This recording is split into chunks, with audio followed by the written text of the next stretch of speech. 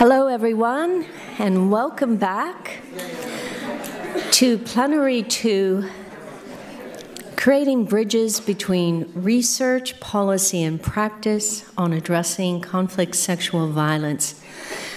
You are a part of the Missing Peace Global Symposium. This is Plenary 2, and we're delighted to welcome you back this afternoon with a really remarkable panel of experts that will be led and moderated by our colleague and friend, Dr. Dara K. Cohen. She is the political scientist and professor of public policy at the Harvard Kennedy School.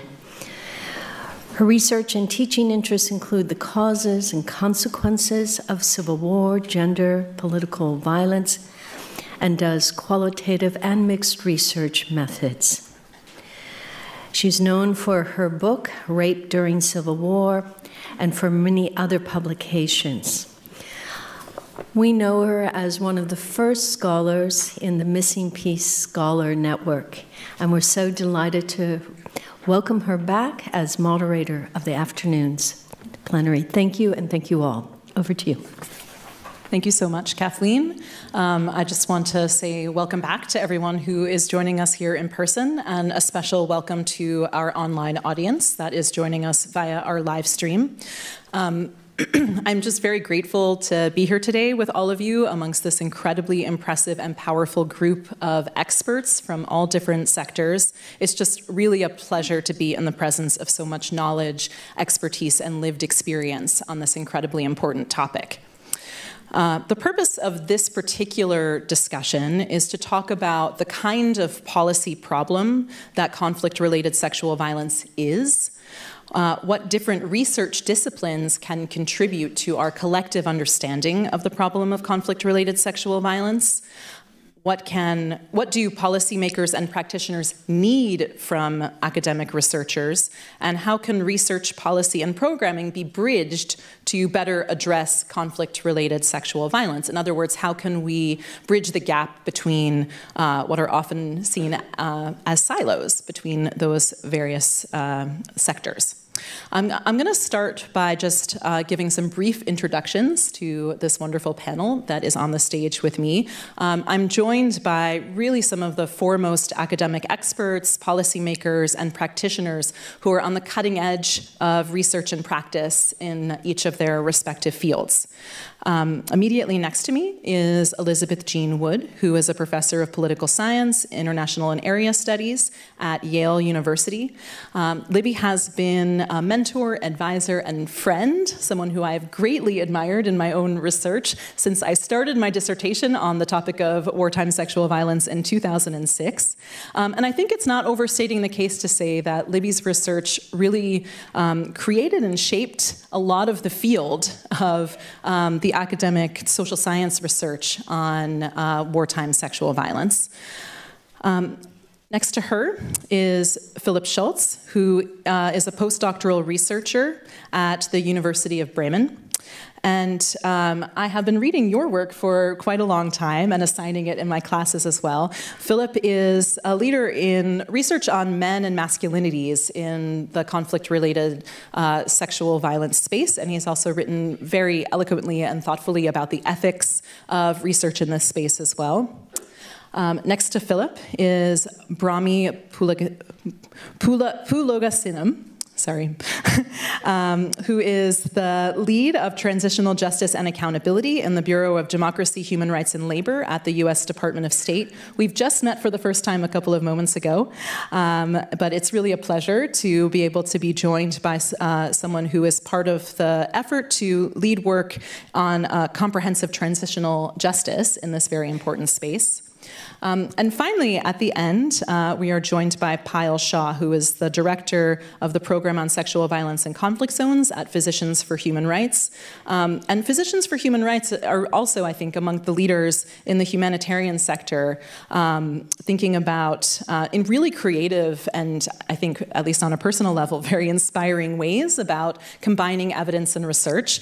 Um, and in fact, I had uh, members from Payal's team in my class that I teach at the Kennedy School on qualitative and mixed research methods, um, just to share some of the incredibly creative thinking that, um, that is happening at, at PHR on how to collect evidence and share it back with the policy community. Um, so with that, I'm going to start with some questions for our panelists, and I'm going to start with um, Libby. Um, Libby, can you share with us um, what have social science researchers really learned over the past decade, uh, since maybe since our last Missing Peace meeting, um, about conflict-related sexual violence, and what are some of the most important findings that have emerged from the research? First of all, thanks uh, very much for the invitation to participate in this event. I am not only learning about cutting edge research and innovative policy initiatives, but I'm also being inspired by your dedication, commitment, and insight into this difficult topic that brings such suffering survivors, to those who don't survive, and their communities. So I'm going to focus on conflict-related sexual violence in a somewhat narrow sense, that by armed actors during conflict. And I think it's very important to put front and center uh, the finding that uh, conflict-related sexual violence varies across armed actors. It varies in form, whether it takes the form of gang rape, sexual slavery, forced abortion, and so on. In targeting, against whom does it take place? And of course, in frequency. Um, so the form, for example, uh, some armed organizations engaged in forced marriage against a particular social group and punish other forms of sexual violence by their combatants. On the other hand, some armed organizations engage in a pattern of very wide repertoire and very wide targeting. So that's a sharp contrast. Some armed organizations, as we'll hear more about, um, target boys and men, and some of them target as well gender and sexual minorities. And in contrast, some armed organizations engage in very little conflict related sexual violence against civilians. Um, and uh, it's important to note that this absence is documented not just through desk work, but also through field work in the setting, talking with local actors, and so on. So, based on this variation, one important takeaway early on in the stream of research is variation across organizations within the same conflict. That means that the unit of analysis cannot be the conflict if you're going to try to understand the roots of variation and patterns. It has to be the armed organization, and it also cannot be uh, the culture of the society because that also cannot ex explain that variation. Um, another important finding is that uh, state forces are more likely uh, than non-state actors to engage in uh, high levels of rape against civilians and of conflict-related sexual violence generally.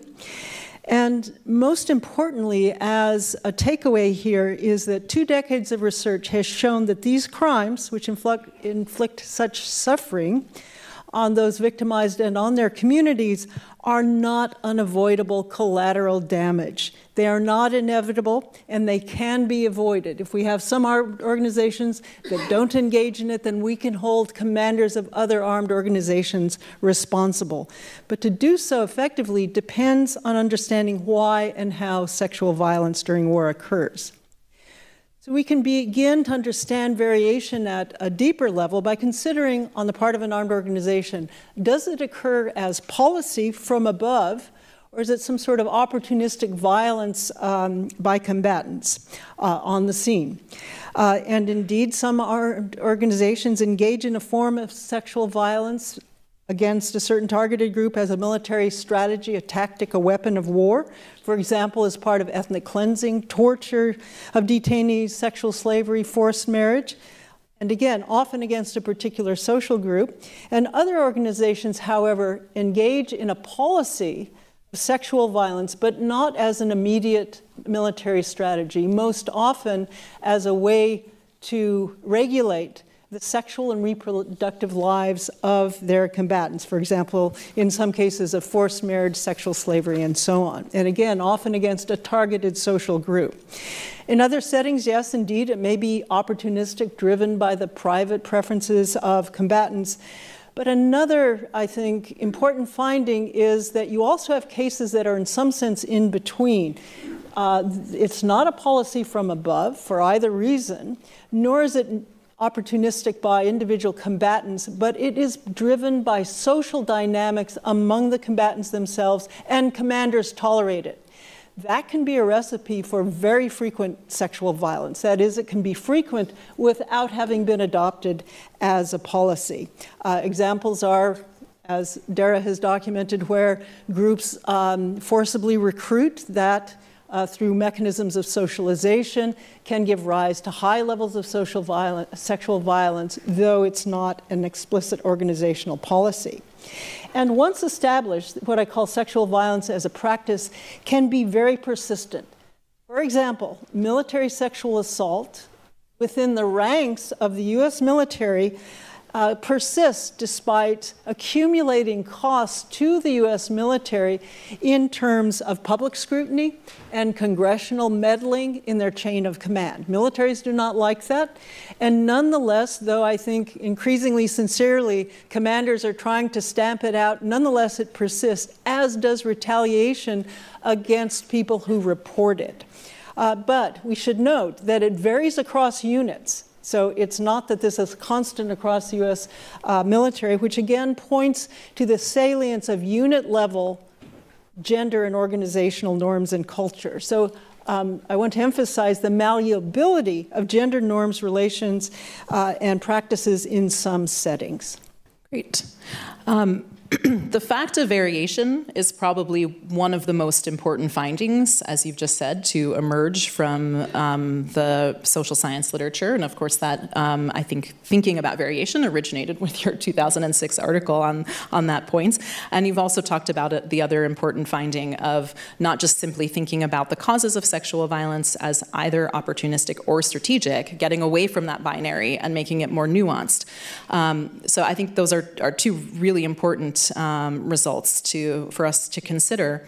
How have scholars explained these differences? How have they come to understand why there is variation, both in patterns of conflict related sexual violence and variation about um, sexual violence as a practice, as a policy, and as um, a strategy?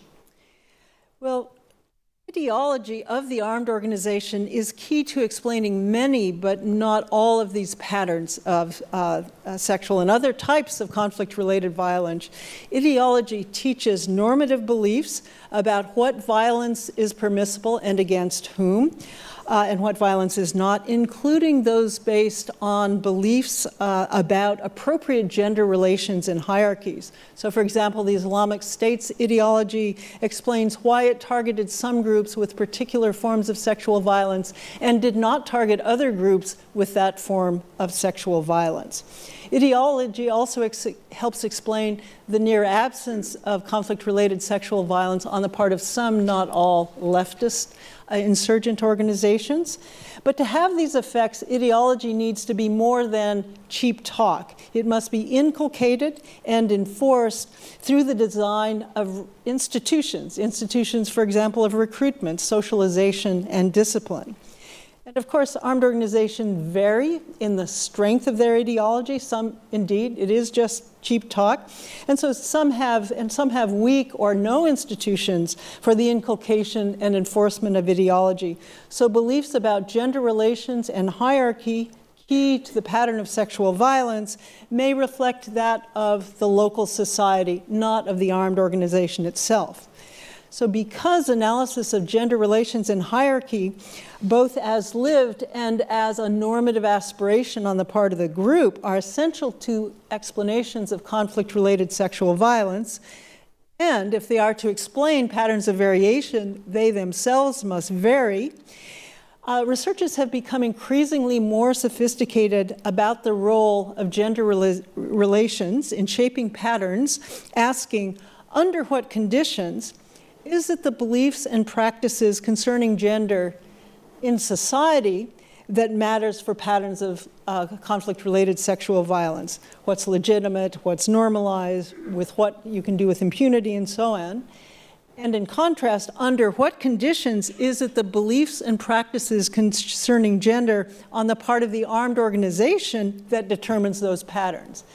And this can go two directions. It could be that the armed organization has successfully inculcated and enforced an ideological vision of those gendered uh, beliefs and norms. Or it could be that it is uh, the armed organization at the level of the rank and file that has uh, adopted different from society, but its own unit level gender norms and beliefs, and that's what's driving the pattern of sexual uh, uh, uh conflict related sexual violence. And the third question is under what conditions do commanders, based on their gendered uh, beliefs about gender norms, um, uh, uh, do they tolerate sexual violence on the part of their combatants? Wonderful. Um, so you've, you've laid out for us, I think, uh, some of the really important ways that the research has developed some answers to our open questions and puzzles, and some of our under has created, I think, uh, some more clear understanding of motivations and explanations for variation.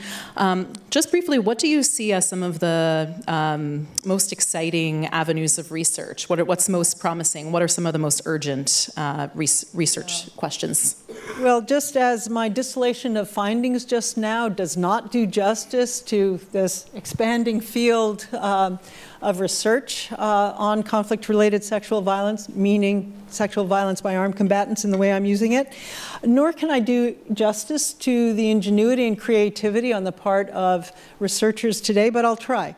Not only are scholars creating new data sets, um, uh, but also they're bringing cutting edge methods to the documentation and analysis of uh, sexual violence during war, including those, and this is really important, that address to some extent the underreporting of sexual violence that so uh, complicates analysis in this field. So, among others, are list experiments. So, it's an indirect way to assess, for example, the prevalence of uh, sexual violence as a very sensitive item that people may not answer if you simply ask them. So, you, we can talk a little bit more about how that goes, but it's an indirect measure of, of prevalence of very sensitive items. Um, the collection and analysis of focus group data that pays attention to the differences of what I privately think and what I may say to the rest of you in my focus group and what the group itself may endorse at the end of that process. And also doing much more sophisticated statistical work on existing data to account for those um, the underreporting of sexual violence. So in data sets, you may have a zero that really is the absence of sexual violence, or you may have a zero that looks just the same, but it's underreporting.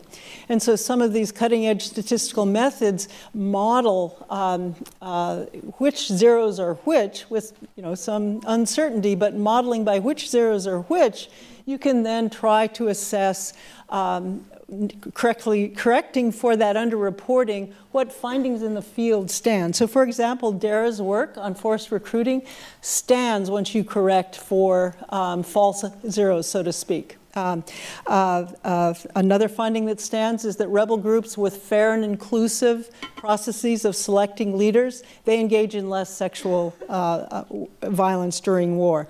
And this technique appears to resolve some contradictory findings in the literature. For example, the relationship between having women combatants in the organization and whether and the, and the organization's level of sexual violence. It's actually positive for state forces, and negative for non-state actors, which um, uh, is a very interesting differentiation of these two kinds of armed actors. Um, and it disconfirms, it disconfirms some other findings. Um, uh, but so that's great, but I really think it's important that we continue with some of the most productive of the methods in which we as a community engage already. And I would say one of them is analyzing variation in patterns within the, uh, the same organization across units informed by gender analysis. For example, deeply qualitative research like oral histories with former combatants.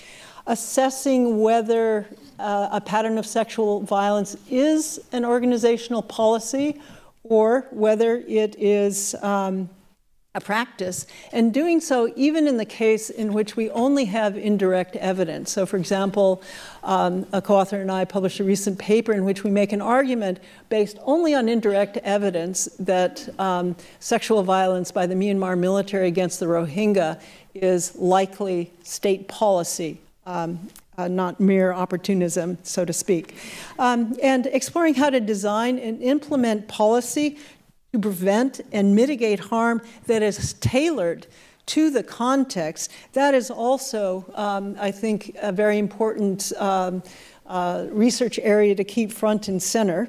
Um, for example, how humanitarian organizations can mitigate the harm of stigmatization of victimized individuals and their families and communities. That, that's very important. And then relatedly, to continue to analyze what the ICRC calls the roots of restraint, the absence, in this case, of conflict related sexual violence. And if we know more about it, can we leverage those factors towards policy, effective policy um, uh, to mitigate sexual violence? And then finally, of course, ongoing ethical research with victimized families and their communities. Under what conditions do they come to exert the kind of uh, reliance and agency that we are seeing here today. Um, I think the most urgent, just to close, is to better tailor policy to the particular setting, to the particular patterns of conflict related sexual violence that we observe, and how to best support victimized communities towards that resilience and agency and away from stigma. And finally, continuing to work to, towards understanding the causes of these differentiated patterns of sexual violence during war as a way to design more effective policy interventions. And finally, just to reiterate what I think is the most important takeaway of variation, it means that rape is not inevitable. Other forms of sexual violence during war are not inevitable. Commanders can effectively prohibit it if they choose to, which strengthens accountability and prevention. Thank you, and I look forward to learning more and more about this from all of you in the next few days. Yes, thank you so much for that. Um, building on one of the final points that Libby made about thinking about research with families and with communities, I'm now going to turn to Philip. Philip, what can ethnography and anthropology, sort of fields of social science beyond maybe political science, which is the home discipline of both um, myself and Libby. Um, what can these other fields contribute to our understanding of conflict related sexual violence? And I guess in particular, what is there to be gained from centering survivor perspectives, which is often, I think, a central focus of these kinds of disciplines?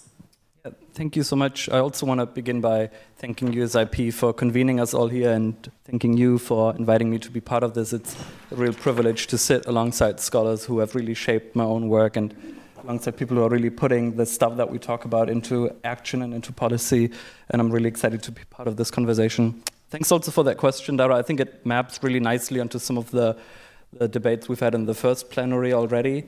Um, and so ultimately, full disclosure, I'm not an anthropologist myself. I think maybe I'm a lost political scientist sometimes, who, however, finds much value and appreciation in these ethnographic and anthropological perspectives to study the gender dimensions of armed conflict. Ultimately, I think because they offer much value and enable us to really zoom into the specifics of trying to understand the micro level dimensions and the specificities of how communities, different group of people experience sexual violence and its wake and its consequences and its effects, sort of not as an alternative to, but really complementary to the more big picture, sort of overarching patterns that you teach us so much about in your work and in your remarks now.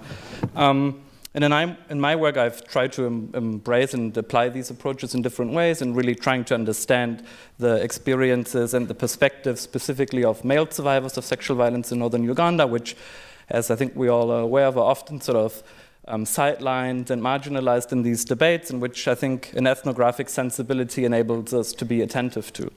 And so, to illustrate you the value of these approaches, I want to tell you a very short story. Much of my work is situated in northern Uganda, and I'm looking at Grace now specifically, who can help me out maybe. And in northern Uganda, much knowledge and wisdom is communicated orally through proverbs. And there's one proverb in particular which I really use as a guiding framework in my work, and it states, and now correct me if I'm wrong, Grace, Odo Mabo Penejo Twal, which obviously, as you will all know, translates as or can be translated as a long stick cannot kill a snake. And so I don't have a long stick here, but everyone who ever had to try and fight a snake knows that that's true, right? If you would have imagined this to be a bit longer, but if you have a long stick and you want to kill that snake and hit it, you will only you know, be able to deliver very sort of low, you know, not decisive blows to it because it's too long. And also there's the risk that if you hit the snake, it will curl around the edges of the stick. And then when you raise it again to give it another blow, the snake will then fall on your head and you will be in trouble. So you don't want to do that. And so what you need to do is to use a shorter stick in, a, in order to be able to give it sort of, you know, short and strong and decisive blows in order to kill the snake. And so the moral of that proverb really is that if you're too far away from a problem, you cannot contribute to a solution. And so instead, you need to get close to it in order to understand it and to be able to contribute to a solution using that sort of metaphorical short stick. And I think this really nicely captures what ethnographic approaches help us with. They allow us to get close to the experiences and the stories and the perspectives and the narratives of survivors of CRSV in order to, first of all, understand them, and then to be able, with that knowledge and that understanding, be able and try and contribute to a solution. The idea also really nicely emphasizes, I think, the fact that CRSV and responses to CRSV in particular need to be contextual, they need to be situational, and they need to be in direct response to local needs. So they need a short metaphorical stick in order to deal with them. Um, and I think this sort of leading to the second part of that question, um, really nicely sort of illustrates what we gain from centering survivors' perspectives and understanding of what is actually needed to respond to their experiences and ideally also how we could potentially prevent this kind of violence. Um, and so, again, I think this came out in the first plenary a lot already that survivors will ultimately tell us that, you know, rather than leaving it at more abstract, maybe sort of distant, um, approaches to CRSV, such as criminal tribunals or like a truth commission sitting in the capital somewhere, what is needed are measures that are really in direct response to their needs. Um, that may be, for instance, the provision of medical or psychosocial service provisions, various reparation measures um, that enable survivors, again, to provide for themselves and to provide for their families in the wake of violence, as well as very importantly, I think, the recognition of their experiences. And I think this is particularly important for the experiences of people whose experiences are often sidelined, like persons with diverse sexual orientations and gender identities, or in most of the debates, male survivors as well. And I think all of that can sort of contribute towards, you know, allowing survivors to live a, I mean, this is quote unquote normal or at least sort of minimally functioning life again um, and be part of daily life procedures and their social networks, all of which has been destroyed as a result of the violence and its effects. Um, ethnographic approaches then, I think, also enable us to tease out some intersectional differences in the experiences and needs between different groups of people in different communities, depending on their respective positionalities and their identities and their localities where they're sort of, you know, coming from. Um, and I think this is particularly important and strong in emerging work on or uh, with survivors, again, with diverse sexual orientations and gender identities, where I think there are striking tendencies to really gloss over and often homogenize what are really diverse experiences. And instead, all of them, you know, putting all of these into one box and under one umbrella of one sort of acronym that whatever you decide to use, and not really acknowledging, I think, the fact that, you know, the experiences of the, say, a middle class lawyer living in Beirut may be vastly different from the trans woman who has been forcibly displaced living in an IDP or refugee camp in Burma or in Syria or elsewhere. And so I think you know, ethnographic approaches again help us to tease out all of these intersectional differences there. Um, do we still have time, or do you want me to wrap this up? um, well, why don't I wanted to sort of build on um, one of the points that you were making about research on men and boys, which I think has been one of the topics where our kind of collective field has made a lot of progress in the past 10 years, but there also still remain quite a number of gaps. Um, so I was hoping that very briefly, and maybe one minute or so, oh, wow. you could tell us just a little bit about um, your, uh, what do you see as maybe the top gap, a top open question that um, still remains on research on men and boys in the CRSV space? Okay, that's difficult to narrow it to one. I think there's so many, right? I mean, it's important, I think, to acknowledge that we have come a long way. You know, looking back 10 years and where we're now, it's much more commonly acknowledged. Yet, as you say, there's a number of gaps. I think, sort of building on what you've said, one gap in particular is I think that, so we know that there's variation in CRSV thanks to the work that you've been doing, but when it comes to discourses about men and boys, there's still one sort of singular storyline of this always and exclusively being a strategy of war you know, that is employed to humiliate and then emasculate male survivors. And I think that may sort of be the case across many settings, but I think we still need to get a bigger, better understanding of, you know, how this plays out and what the sort of specificities of that are. Um, and I think one way to do that is building on some of your work, Dara, and the arguments you make is to really also look at perpetrators' accounts and perspectives on that, because ultimately, as you say, to understand the causes of CSV, we also need to look at that. Um, I think one real challenge in the field that I'm seeing, and that is a bit concerning, I think, is that there are uh, tendencies, I think, to sometimes pitch some of that growing recognition of men and boys as survivors of sexual violence against some of that important ongoing work on sexual violence against women and girls and the underlying patriarchal power structures of that. And I think there's also some tendencies in some of that work with men and boys that really sort of feeds into that, I think, and that often has, you know, I think there's tendencies to um, yeah, maybe sort of reestablish male privileges within that work, to sort of reestablish heteronormativity in that, and they're often like what makes some of these approaches and some of that work maybe attractive in a way is that there's a remasculizing message in that, where you know, like your masculinities have been lost, and then there's ways in which you can regain some of that masculinity, and that makes a lot of sense from an individual perspective.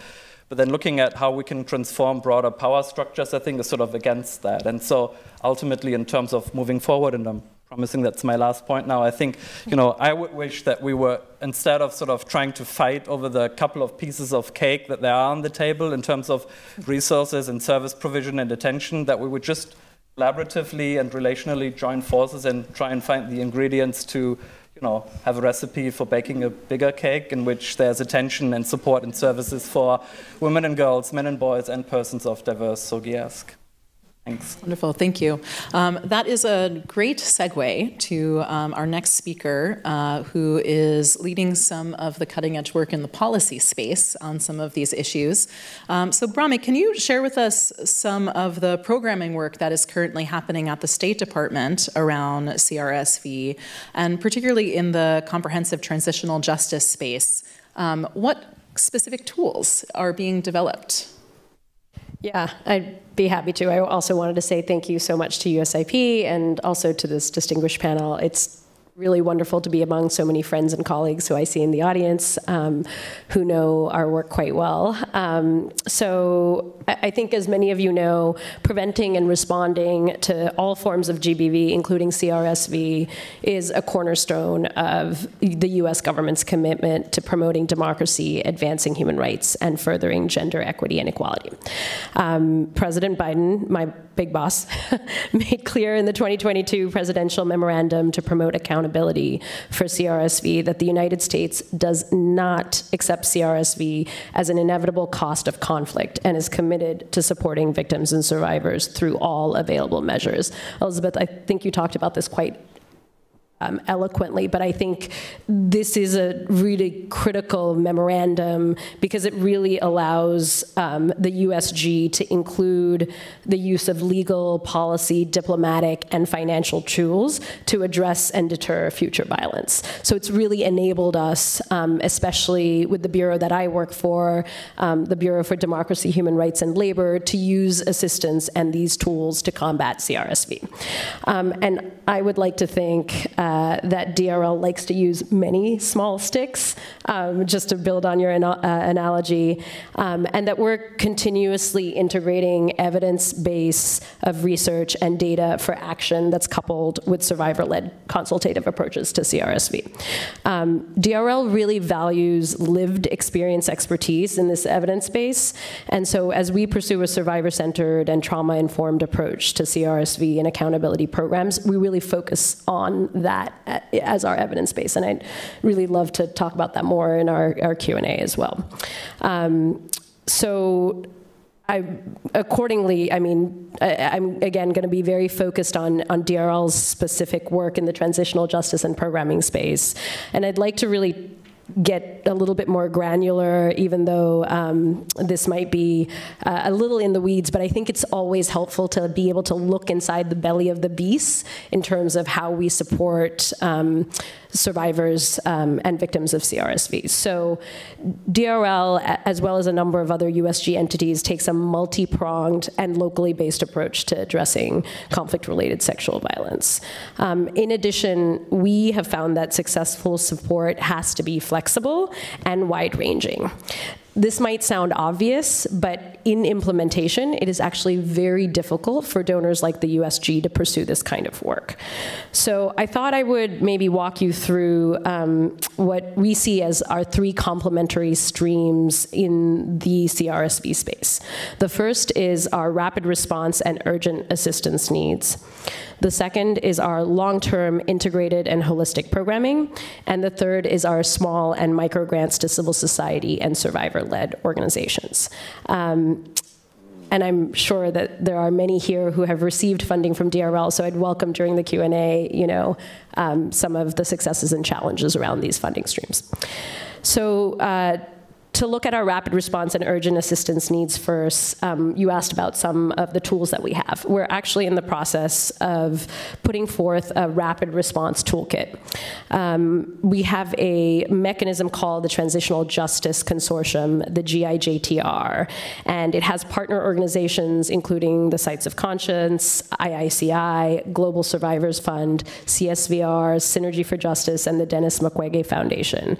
And they're developing an assistance, uh, an assessment toolkit, excuse me, that takes a holistic approach to justice and accountability for CRSV. And the approach to justice and accountability for conflict-related sexual violence here is really to look at how to design this toolkit for the use by survivor networks and civil society organizations. So looking at both formal and informal reparative and retributive justice, so beyond criminal accountability. Uh, the themes that are covered in the toolkit are intended to reflect survivors' varying needs, um, and, and this includes looking at the needs of men and boys and what we would say uh, marginalized groups, that includes a, a number of groups that you've already mentioned here.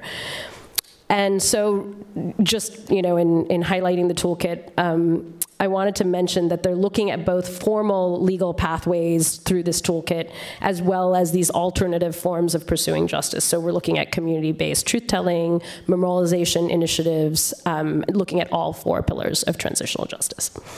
I'm going to move quickly because there's a number of programs that I want to highlight, and I realize there's quite a few in terms of the comprehensive work we do. Um, but I want to just take a moment to also talk about a phenomenal urgent assistance program. This is the Voices, Voices Against Violence, Violence Initiative, the VAV. Um, it was originally announced at PSVI in 2014, and it's an example of how DRL and the VAV are dedicated to ensuring that survivors and those at urgent risk of extreme forms of gender-based violence and harmful practices have better access to service, protection, and justice. Um, you can tell that that's from their fact sheet. But what's more impressive is that they have obligated and managed more than 56 million through this initiative, and I see a number of my colleagues here who are involved with this initiative, reaching more than 2.7 million beneficiaries, including survivors of extreme gender-based violence, which is inclusive of CRSV. Okay, so that's our rapid response programming. Um, I'd like to take a moment to talk about our long-term programming as well. And our long-term programming is divided into our atrocity prevention programs and then long-term justice and accountability programs. Um, I think you heard earlier on Ambassador Gupta mention, you know, we're constantly striving to pursue prevention, not just response. And so within CRSV program implementation, our atrocity prevention programs are especially collaborating with partners partners to identify upstream approaches to preventing CRSV within fragile and conflict affected contexts. Um, and this really involves addressing the underlying drivers of gender inequality, which you've already mentioned quite um, extensively.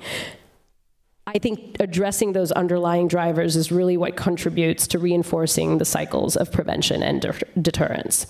And so to date, DRL's early warning programs demonstrate that including women as implementers of structures that transmits alerts and develop risk mitigation responses increases the effectiveness of these structures. And we've done this through a number of different um, applied learning evaluation structures that have been in place.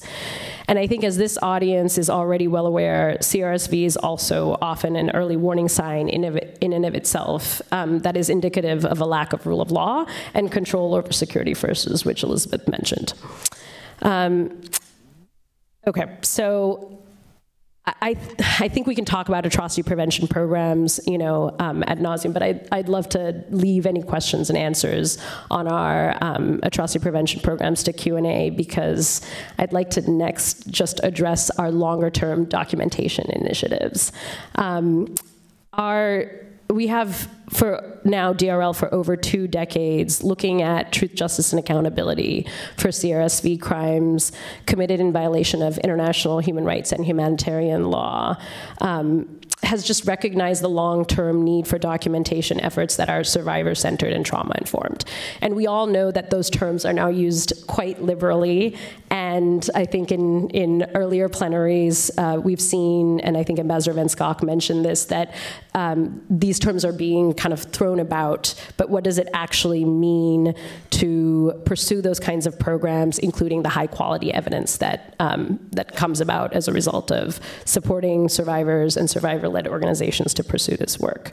Um, I think at, I'd like to just highlight that at PSVI, DRL was very proud to announce that we would put aside $10 million over two years in global programs that support these kinds of civil society efforts and survivor led efforts to investigate and document CRSV alongside the Murad Code.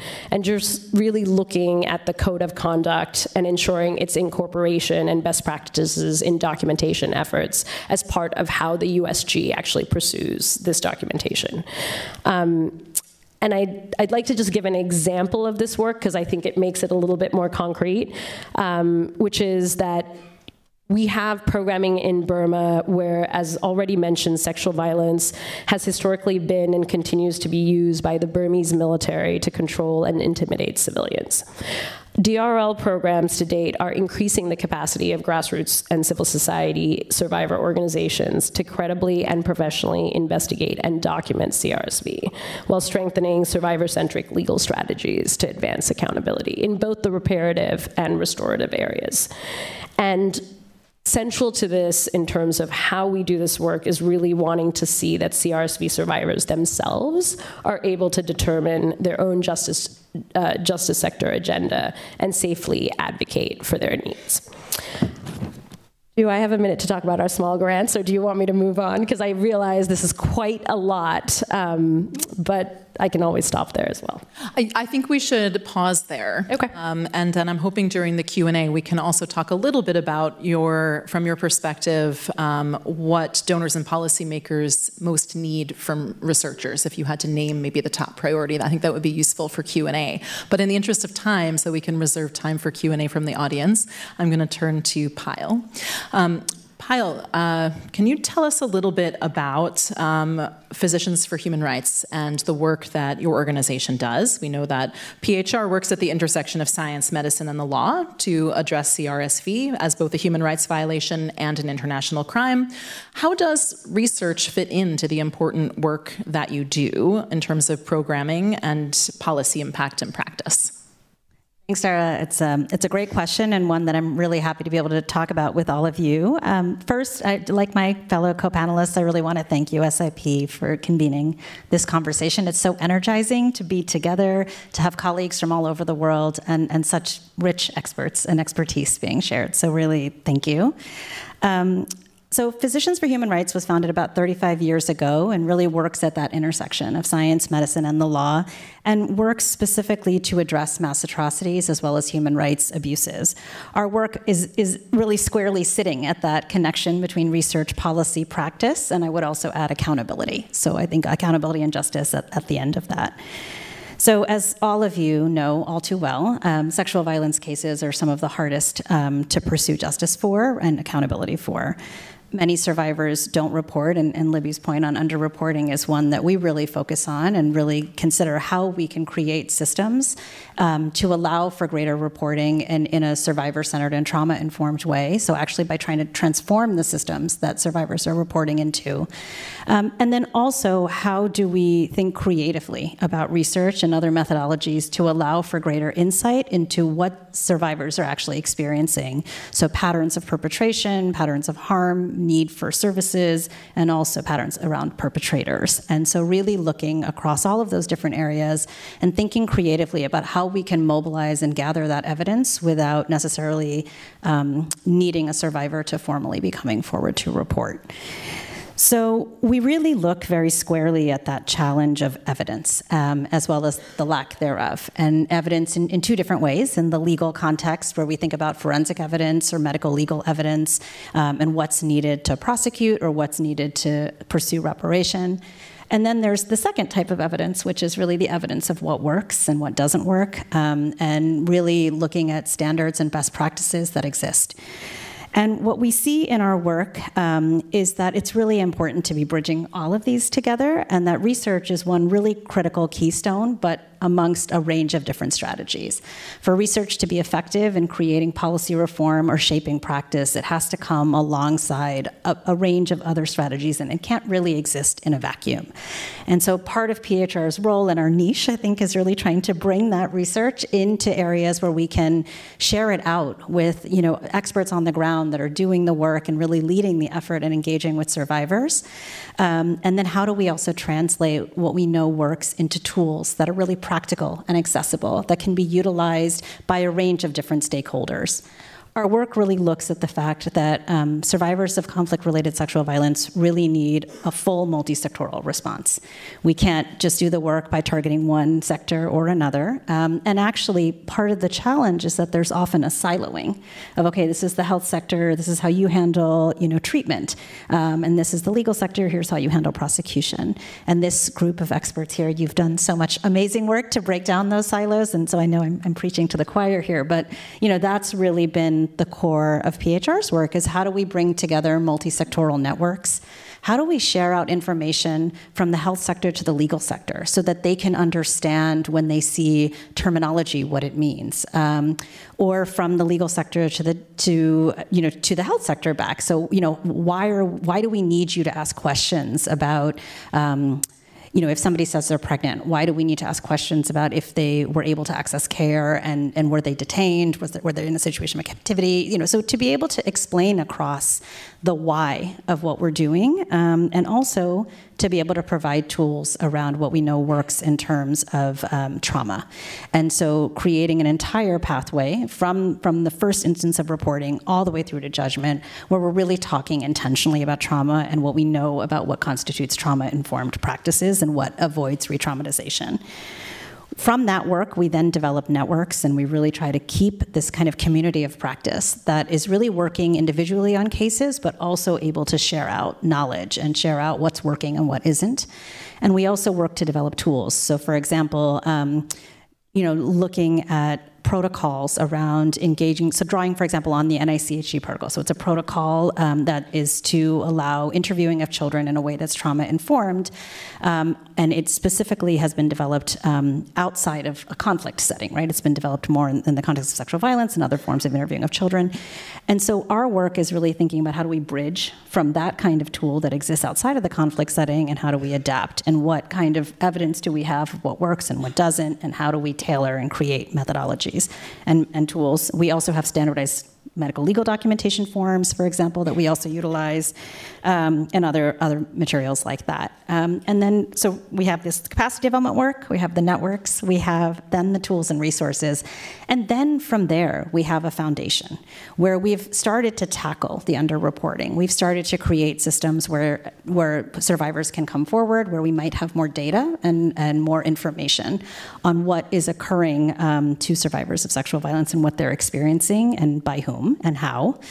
And that's where we start trying to mobilize the research and really thinking about how we can take this evidence um, from the medical sector, for example, so, you know, the standardized medical legal form, how do we take that and then be able to do analysis to get concrete rigorous data and find analysis of, of what survivors are experiencing and to be able to be used in justice processes or in accountability processes. Um, and then from there, we take the work and the research and, and we do an immense amount of advocacy. And, and this is one of, I think, PHR's real kind of origin and, and purpose is, is really to be able to bridge all of this to affect change. And so our, our work is really focused on, on thinking about what kinds of, you know, from looking at the advocacy questions from the outset. We, we start that in defining our research questions is where is this going to be used? How are we going to utilize it? And what do we hope will happen with this information? So, for example, in August 2003, Physicians for Human Rights published a report on conflict related sexual violence in Ethiopia with a specific focus on Tigray. The report, the data itself in the report was really powerful. It was drawing on the analysis of randomly sampled medical records from health facilities in Tigray. Um, and the analysis was identifying really key patterns in the manner in which CRSV was occurring, as well as in the characteristics of perpetrators. And so it was, it was really concrete data. It has a lot of potential, although I know there's a lot of conversations happening around what, has been going on around Tigray, but it has a lot of potential in actually um, helping to shape policy response. But this, this research couldn't have happened in a vacuum, right? To be able to mobilize this research, we first had to start by building capacity and working with partners in terms of thinking of how do you do standardized medical legal documentation? What are the tools you need to be able to do that? And so, really starting with capacity development, introduction of these kinds of tools, and a lot of conversations about okay, these are the kinds of cases we're seeing. Here's you know here's what's coming up, um, and that creates an ecosystem, sort of, where, where then you can do this kind of research and documentation. Um, so really, you know, I think our, our, work is looking at connecting evidence at all phases. It's evidence in the research sense, and then really connecting to then generating evidence in the legal sense. Wonderful. Thank you so much. Um, we are going to now shift gears to take some questions from the audience. Um, we'll collect a number of questions, and then um, the folks on the panel can answer um, whichever you, you, would like to answer from, the, from your own perspective. Um, I'm going to ask, as we did this morning, um, for those in the audience to please introduce yourself and then to please ask the briefest possible version of your question so that we can collect as many as possible and hear as many voices as possible. Um, so please raise your hand if you have a question. See some, okay. I see one up here in the front. Uh, hi, my name is Sofia Cardona. I'm a GBV focal point for UNHCR in Mexico. Um, my question, I think it's it's mainly towards uh, Professor Jean Wood and, and towards uh, Philip, but if, if, feel free to take a crack at, at it if you will. Um, I'm wondering, particularly when you're discussing perpetrators and, and falling outside of the binary of policy or, or opportunity and more looking towards um, sort of social tolerance for it, if you have found um, particular uh, instances, or if, if, if, your research has led you to what int intimate partner violence intersects with that particular tolerance. I'm asking this because in Mexico, um, what we're seeing from UNHCR is perpetrators, gang members mainly, and organized crime. So slightly different from armed groups, but the the people that we find are at highest risk are women who are fleeing gang members who were also their forced partners. So IPV as well as gang violence. So I, I, was wondering if you had that intersection. Thank you. Thank you so much. Let's take another one, maybe up towards the back. See one in the center at the back. yes.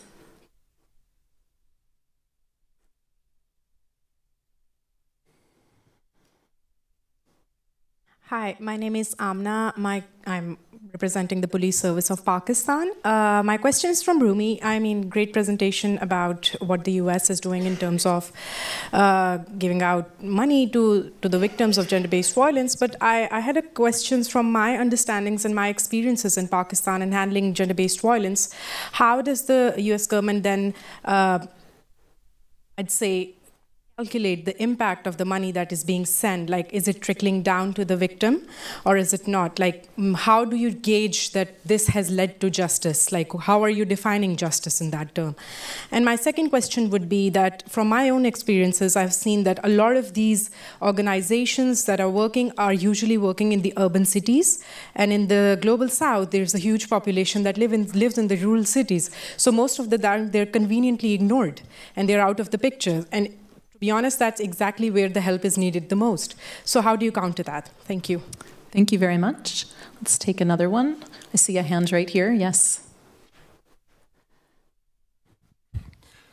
Merci beaucoup pour la parole. Je vais essayer un peu de parler en français. Je ne sais pas qu'il y aura un traducteur.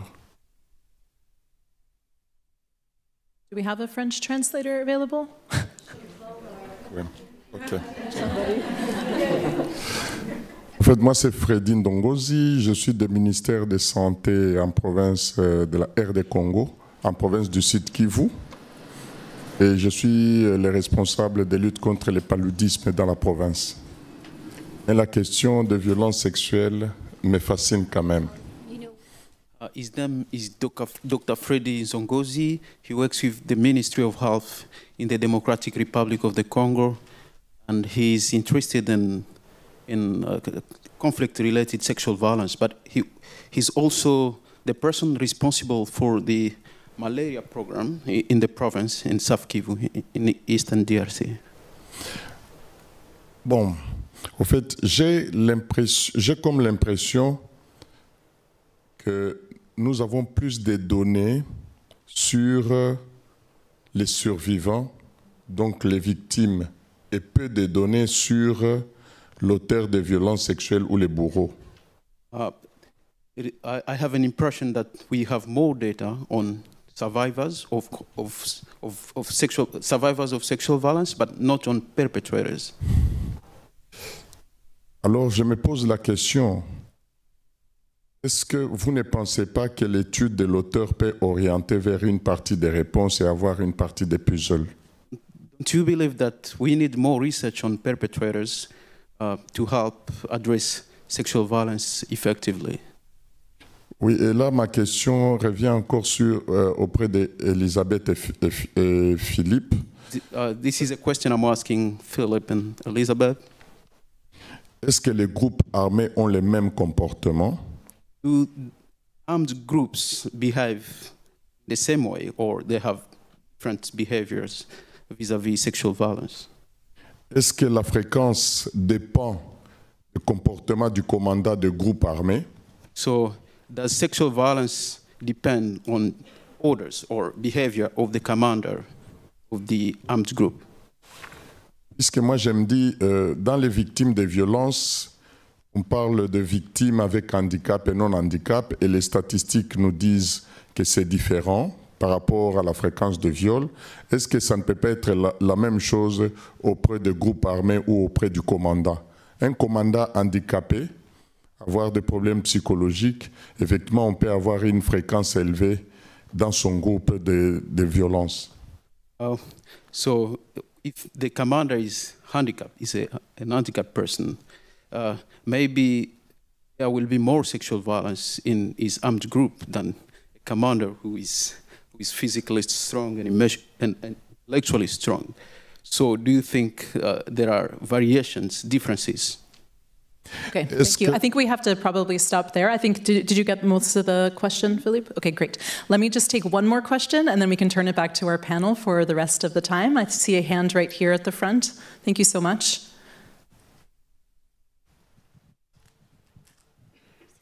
Hello, uh, thank you. My name is Ingrid Constance Odegaard, University of Oslo, but also GESIS Cologne, and um, chair of the Children Born of War Foundation. I think this is really great bridging uh, between the research policy and practice. And basically, I have a question for all of you because what I learned from Professor Wood is that we know quite a bit and we have data.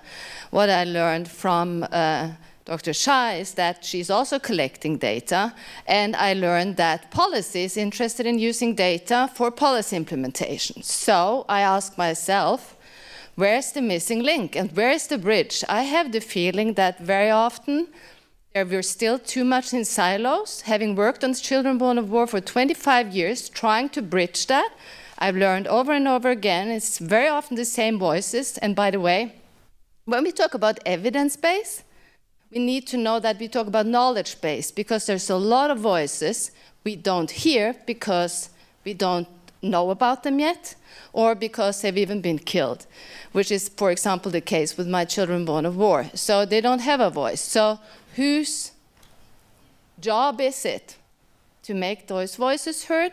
And how is the data sharing and research sharing working amongst you? I would really be interested in understanding how it's actually communicated and bridged. Thank you. Thank you so much. Uh, we'll turn back now to the panel. And if it's okay with you, maybe we'll just go down the line and you can respond to whatever strikes your fancy. um, why don't we start at the end here? Payal, why don't you go first? It's on. Okay, great. Sorry, I was expecting you to start on the other side, um, but thank you so much. Uh, maybe I'll start with the last question. Um, so I, I, think it's a really great question, and it's a really important one. And spaces like this are really important to be starting to bring together different disciplines, um, but there's definitely a need for more of it.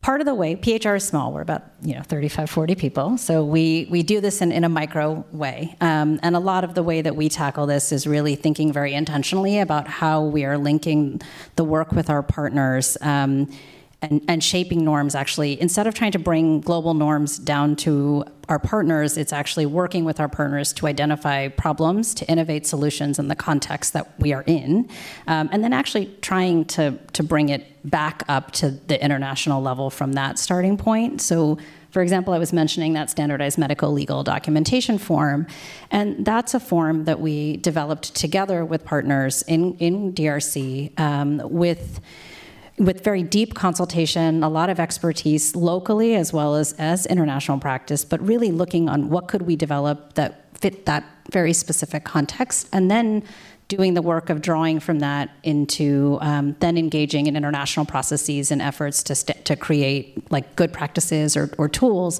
and have that reflected there. So then you'll see that standardized medical legal documentation form annexed to the international protocol and documentation of conflict related sexual violence. And so that is one of the ways I think we're trying to address the, the piece that you're talking about, where it often feels like we're trying to bring people, you know, the movement is trying to bring in top down strategies into contexts where it doesn't work, where we need to be engaging knowledge um, from you know in, in, different corners and different sectors and, and, to be addressing that kind of very colonial mindset right of we, we have the solutions here in dc and we're going to ship them out.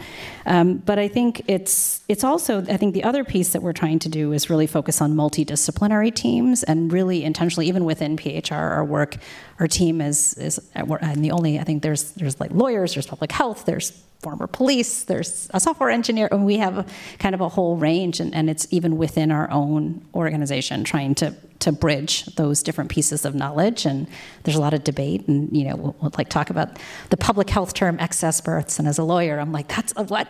like, you know, we have to talk about that differently. And so there's a lot of conversation too on how do we create um, our products and our knowledge? How do we put it out in a way that's accessible and easy to utilize and practical, um, and then can also be adapted to different contexts? I hope that answers some of the question. Wonderful. Uh, we have five minutes remaining, just keeping an eye on the time. So, as briefly as possible, um, as we go. Um, okay. Uh, so, I wanted to address the uh, lady's question, I think, from, from Pakistan in the back.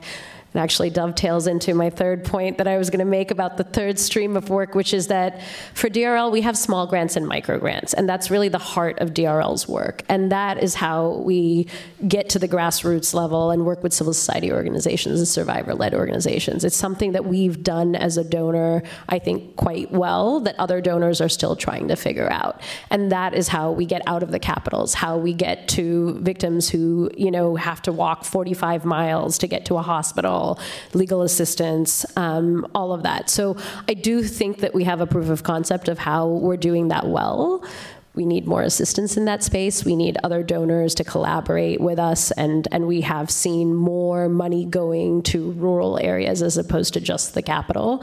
And I think there are many examples of that, but we need to lean into that more.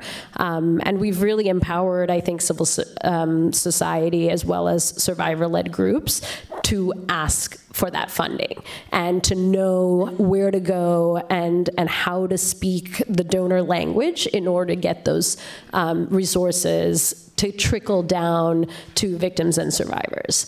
Um, that's the success story. There are large holes, of course, and, and in, in how that assistance gets to the people who actually really need it.